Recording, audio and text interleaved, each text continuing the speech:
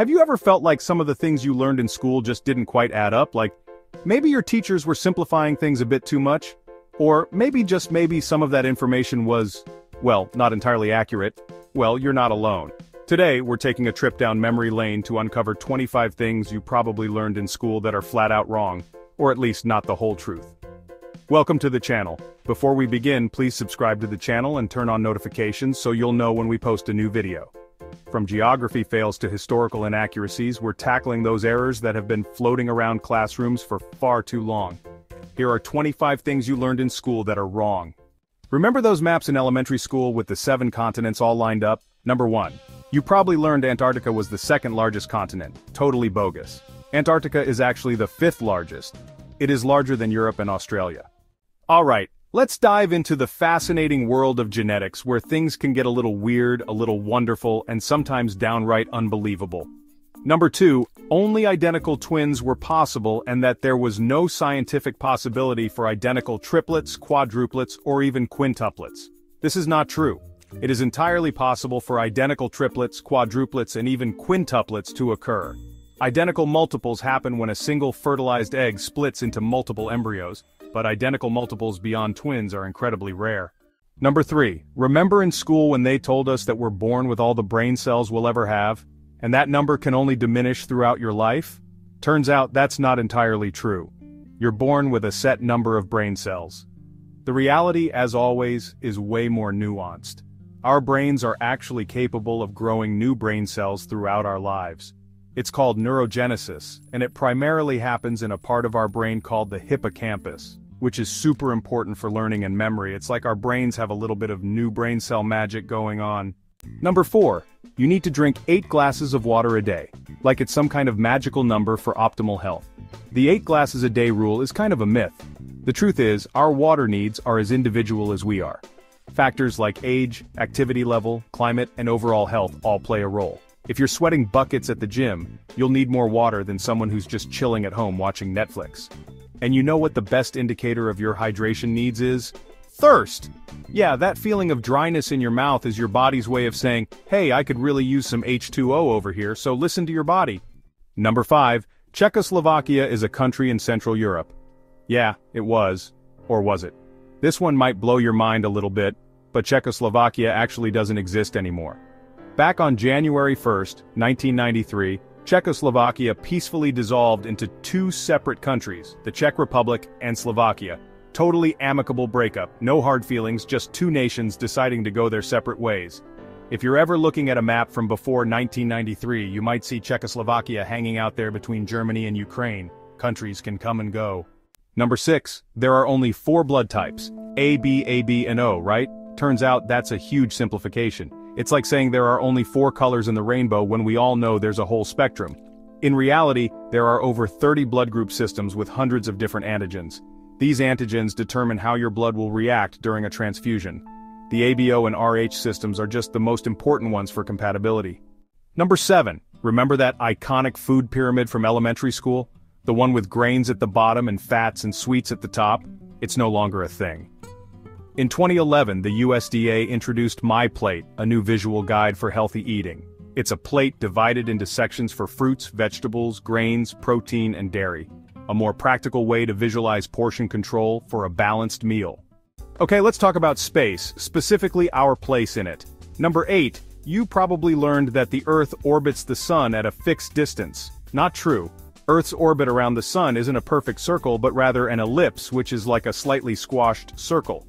This means our distance from the Sun actually varies throughout the year by about 5 million kilometers. That's a lot of kilometers. Now you might be thinking, wait, wouldn't that cause crazy temperature swings? Surprisingly, not really. The Earth's tilt on its axis plays a much bigger role in the seasons than our elliptical orbit. The takeaway here? Space is weird and wonderful, and our planet's journey around the sun is more dynamic than we often realize. Number 9. Okay, we've all the teachers say it, breakfast is the most important meal of the day. It's practically been drilled into our brains since we were kids. And while breakfast can be a great way to start the day, the truth is, it's not necessarily more important than any other meal. You see, the importance of breakfast can vary a lot from person to person. It depends on things like your metabolism, your activity level, and even your personal preferences. Some people function best with a hearty breakfast, while others do just fine skipping it altogether. The key takeaway here is to listen to your body. If you wake up hungry, then by all means have a nutritious breakfast. But if you're not feeling it, don't force yourself. The most important thing is to nourish your body throughout the day, regardless of when you choose to have your first meal. Number 10.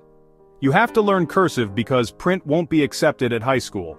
Remember all that time you spent practicing your letters, connecting those loopy A's and swirling G's? Well, it turns out all that effort might not have been strictly necessary. In many schools today, cursive writing is no longer a mandatory subject. With the rise of computers and digital communication, the emphasis has shifted towards keyboard proficiency. And while some argue that cursive is still important for developing fine motor skills and improving cognitive function, others believe it's become somewhat obsolete in our increasingly digital world. Now I'm not saying cursive is completely useless, it can still be a valuable skill to have, especially for things like signing documents or reading historical texts. But the reality is, it's no longer an essential requirement for success in the 21st century. Number 11. You need to have two spaces after a period. If you were taught to type on a typewriter, you probably learned to put two spaces. But guess what? In the age of computers and digital typography, the rule has changed. The current standard is to use just one space after a period. Why the change? Well, it has to do with the way digital fonts are designed. They're already spaced proportionally, so that extra space is no longer necessary. In fact, using two spaces can actually make your writing look cluttered and outdated. And hey, if you're ever unsure about a grammar rule, don't be afraid to look it up. Language is constantly evolving, and it's always good to stay informed. Number 12. There are three learning styles, like you're a visual learner or an auditory learner or kinetic learner, turns out that's not really how our brains work. It was a nice idea, right? That we could just categorize ourselves and then boom, learning becomes easy. The truth is, our brains are way more complex and adaptable than that. We use a whole bunch of different strategies to learn, often simultaneously. It's not about finding one right way, but about being flexible and finding what works best in each situation. The important thing is to keep trying different approaches and figure out what helps you learn most effectively. Number 13. You had to have the same blood type as one of your parents. This is so not true. You inherit your blood type from your parents, but it's not as simple as just getting one from your mom and one from your dad. See, each blood type is determined by the presence or absence of certain antigens on the surface of red blood cells. You get one gene from each parent, and these genes can combine in different ways. So even if both your parents have type A blood, you could end up with type O. It all depends on whether they carry the recessive O allele. It's like a genetic lottery but instead of winning money, you get a blood type. Number 14. Remember when teachers would say, this is going on your permanent record. Like it was some scary, all-knowing document that would haunt you forever? The truth is there's no single ominous permanent record that follows you around for life. Sure, schools keep records of your grades and attendance, but those are generally kept confidential and are mostly used for things like transferring schools. One bad grade or a minor disciplinary incident isn't going to ruin your chances of getting a job in the future. Number 15. Alright, so remember, back in the day when teachers would say, you won't always have a calculator in your pocket, turns out they were kind of wrong. I mean, we carry around these supercomputers in our pockets every day. And it's not just our phones, calculators are everywhere. Laptops, tablets, even smartwatches can crunch numbers faster than we can say Pythagorean theorem. To be fair, teachers just wanted us to understand the concepts behind the calculations, which is super important. Think of it like this. You wouldn't use Google Translate to write a novel in a language you don't understand, right? You need to know the grammar, the vocabulary, the nuances of the language to truly express yourself. Math is kind of the same way. Knowing how to do the math yourself gives you a deeper understanding of the problem and helps you catch errors. Number 16. If you get good grades you will be successful. Good grades are important, but they're not everything. They show effort and understanding, but life is more complicated. Success involves creativity, problem solving, and resilience. Think about successful people. Their success isn't just about grades. They had passions beyond the classroom and embraced failure. Education is valuable, but learning goes beyond school. Number 17. At some point in the past, the climate was uniformly warm across the planet. This is false. Earth's climate has never been uniform. Our planet has a long history of climate fluctuations. Even during ice ages, greenhouse periods, or volcanic eruptions, the climate wasn't uniformed. Number 18. Men's brains and women's brains are inherently different from birth. Well turns out our brains didn't get that memo. It's a common misconception that men and women have vastly different brains, leading to stereotypes about skills and abilities, you know like men being better at math and women being more emotional. While there are some small structural differences, the brains of men and women are remarkably similar. Think about it, we both have the same basic brain regions responsible for language, memory, emotions, and problem solving. These regions function in very similar ways, regardless of gender. Now, I'm not saying that individual experiences and social influences don't play a role in shaping our skills and behaviors because they absolutely do. But the idea that our brains are hardwired differently based solely on our gender? Yeah, that's not true. If you learned this next one, please put the year you learned it in the comments because you I think it is still being taught today. Number 19. North America consists of Canada, the United States, and Mexico. But it's far more diverse. I don't know why they leave out the smaller countries and territories. Belize, Guatemala, Honduras, El Salvador, Nicaragua, Costa Rica, and Panama, just to name a few. North America has 23 countries. Number 21, the oil in the ground came from decomposed dinosaurs. Oil doesn't come from dinosaurs but from tiny ancient marine organisms. These organisms sank to the ocean floor, forming layers of organic matter. Over millions of years heat and pressure transformed them into hydrocarbons. Number 21, water conducts electricity. Actually pure water is a bad conductor of electricity. It's the impurities like salts and minerals make it conductive. These impurities break into ions, allowing electricity to flow. That's why water and electricity can be dangerous together. Number 22, sugar make kids hyper. The idea that sugar causes hyperactivity, especially in children, is a myth. While it might seem intuitive that sugar, with its quick energy boost, would lead to hyperactivity, numerous scientific studies have actually found no direct link between sugar consumption and hyperactivity in children or adults. It turns out, a lot of what we perceive as a sugar rush is actually just situational. Think about it. Kids are often most excited and energetic in situations where they're also most likely to be given sugary treats, like birthday parties or holidays. The excitement and energy are likely due to the environment and social interaction not the sugar itself.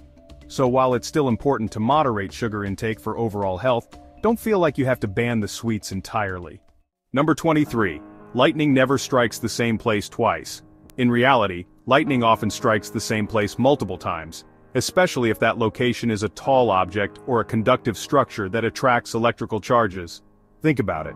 Lightning is essentially electricity looking for the easiest path to the ground. Tall buildings, trees, even radio towers, they all provide a more direct route for the lightning to travel. For example, the Empire State Building is struck by lightning around 25 times per year. Here is another lightning fact. A man named Roy Sullivan, a U.S. park ranger, was struck by lightning seven times during his lifetime and survived all incidents.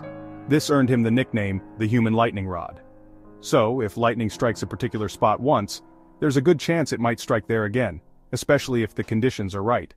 Number 24. Cracking your knuckles will give you arthritis when you're older.